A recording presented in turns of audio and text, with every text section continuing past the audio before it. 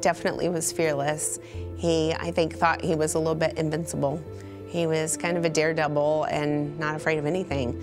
So with the fentanyl thing, you know, I know that he had this mindset that that'll never happen to me because he's too smart and he would know.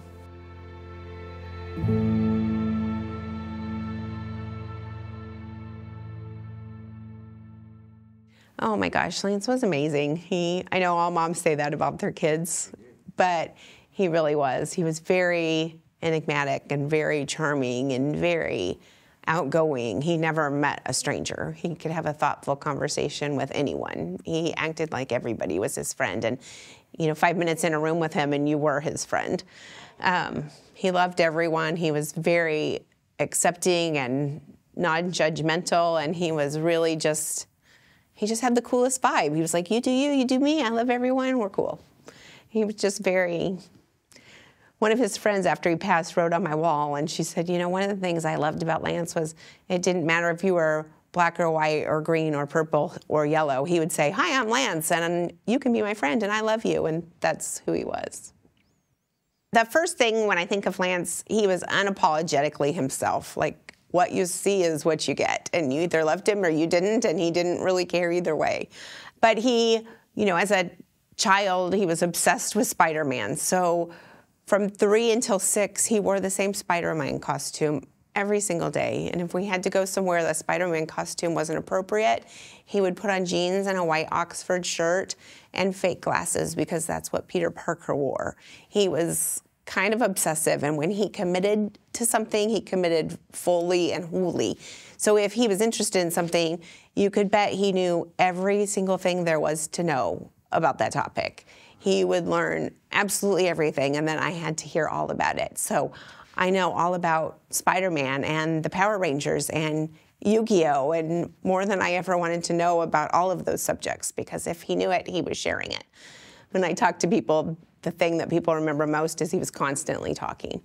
And Lantz talked a lot about everything. But he was so smart. He knew a lot about a lot of things, and he could talk to he can have an intelligent conversation with anyone about pretty much any topic. He was a little bit of a handful, not gonna lie. Most of my gray hairs are, are from Lantz.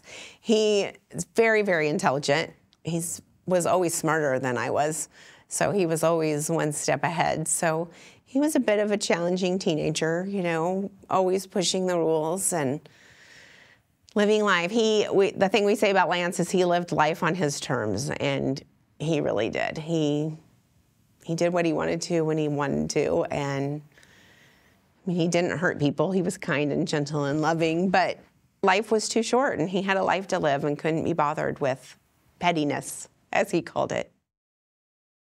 He was definitely not afraid, and I think that he had this false sense of security because he thought he was street smart, and he thought that he would know, he would know better. But on February 23rd of 2020, he bought two oxys, what he thought were oxys, from some random guy at a club in Lawrence called The Hawk. And on March 3rd, he messaged a friend after he went to bed at 11:59 p.m. He got home from work and messaged a friend and said that his back hurt and he was taking an oxy and going to bed. And then I found him the next day.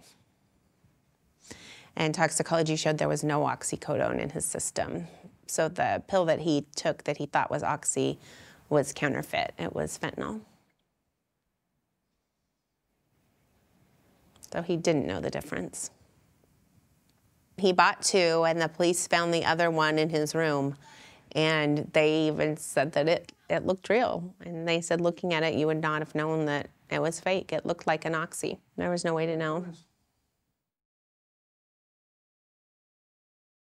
I would say he wasn't an addict, but he definitely liked to party and have a good time with his friends. And again, he was fearless and maybe a little bit reckless and made some choices that he shouldn't make sometimes. I would describe his drug use as recreational and more of a social party kind of kind of use. He was a pothead. He really liked some marijuana. Um, and honestly, in the beginning, that didn't bother me because it was a lot better than a lot of the stuff that he could be doing. You know, to be honest, that day is still kind of a little bit of a blur. Um, I remember screaming his name and, and running down the stairs, and somehow I had the foresight to tell my daughter to go wait in the front yard for 911 while I put all of our dogs up so that, because I knew a lot of people would be coming in with the dogs. Um, that's about all I remember is, is calling 911. Um, she was telling me to start CPR, and I was telling her I couldn't, and she was emphatic that I get him on the floor and start CPR. And I remember yelling at her that I used to be an EMT, and I could tell her it was far too late for that. And then that's about the time everybody came in. It's pretty much your worst nightmare. You know, I had this this inkling because I honestly didn't know what else it would be. He didn't really do anything else.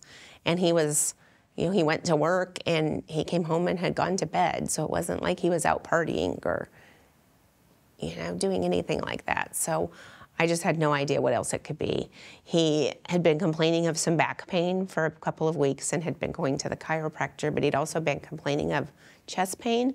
So, of course, in the back of my head, I'm worried that there was something heart related that I'd failed to address and didn't take him to the doctor for because we figured it was just related to his back.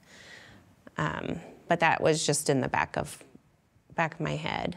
And he passed away on March 4th, and on my birthday, which is May 19th, we got the toxicology reports that it was fentanyl.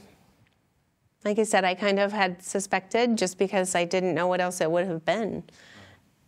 But at the same time, I couldn't believe that that he would do that. He knew better than to take something that he wasn't prescribed.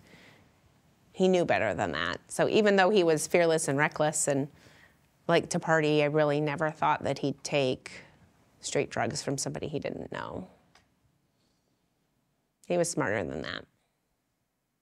You know, he was the guy that every time his sister would go out, he'd say, Don't ever take anything that somebody gives you because you don't know what it is.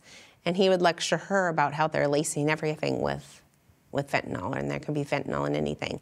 And he would lecture her about that and say, you know, take a water bottle, don't ever leave the top off, carry it with you, don't ever leave your drink unattended. So he would give her all of those safety tips. So it really never, I didn't worry a lot that he would fall victim to something like this because he did know better. And he's still not here. And the reason I shared his story, I was hesitant to share his story at first because, you know, there's such a stigma with drug use. And I ultimately decided to share his story because if it can happen to us, it can happen to anybody. If we had to bury our child, it can happen to anybody. They can lose their child just as easily. And this is a war on our children's lives, and our only weapon is awareness. So, my hope is that you know, parents will share Lantz's face with them and tell them his story and tell them how much his sister and his dad and I have struggled and tell them how Lantz was amazing and smart and had a bright future ahead of him. And now he's gone. And my hope is that those kids will stop and think about Lantz and remember his face and make a better choice than he did.